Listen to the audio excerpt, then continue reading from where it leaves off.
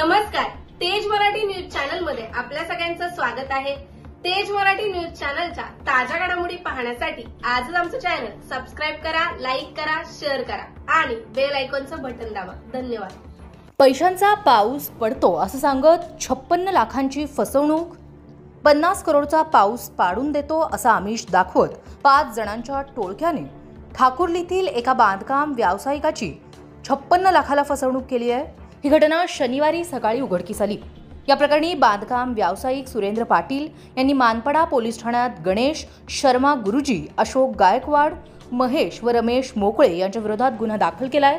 या प्रकरणी चार संशयित आरोपींना मानपाडा पोलिसांनी ताब्यात घेतलं असून या प्रकरणाचा अधिक तपास पोलीस करीत आहेत. ठाकुर्ली चोळेगाव येथे सुरेंद्र पाटील राहण्यास आहेत. सुरेंद्र हे बांधकाम व्यावसायिक असून त्यांचे दावडी गावात पाटीदार भवन येथे कार्यालय आहे. त्यांना पाच भोंदूबाबांच्या टोळीने दहा टक्के पैसे पूजेसाठी दिले. तर पन्नास करोडचा पाऊस पाडून देतो असं सांगितलं. त्यानुसार छप्पन्न लाखांची रक्कम सुरेंद्र यांनी तयार करत शनिवारी रात्री या भोंदूबाबांच्या टोळीने त्यांच्या पाटीदार भवन कार्यालयात पैशांचा पाऊस पाडण्यासाठी पूजा सुरू केली.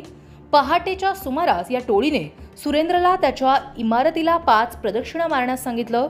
सुरेंद्रनी प्रदक्षिणा घालण्यास सुरुवात केली याचा फायदा घेत या भोंदूबाबाच्या टोळीने त्यांच्यासाठी दिलेले छप्पन्न लाख घेऊन तिथून पोबारा केला.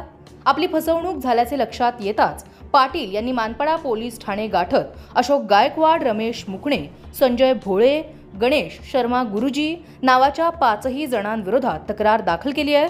तर मानपाडा पोलिसांनी या तक्रारीवर कारवाई करत चार संशयित आरोपींना ताब्यात घेतलं असून मुख्य आरोपीच्या शोधासाठी दोन टीम या रवाना करण्यात आल्या आहेत. तेज मराठी न्यूज कल्याण. मानपाडा पोलीस स्टेशनच्या अंतर्गत पाटीदार भवनच्या बाजूला यातील फिर्यादी यांचं ऑफिस आहे. फिर्यादी नामे सुरेंद्र पाटील हे बिल्डर व्यवसाय करतात. त्यांना काही अज्ञात लोक आले आणि त्यांनी सांगितलं की तुम्ही दहा टक्के पैसे द्या आपण पाऊस पैशाचा पाऊस पाडू.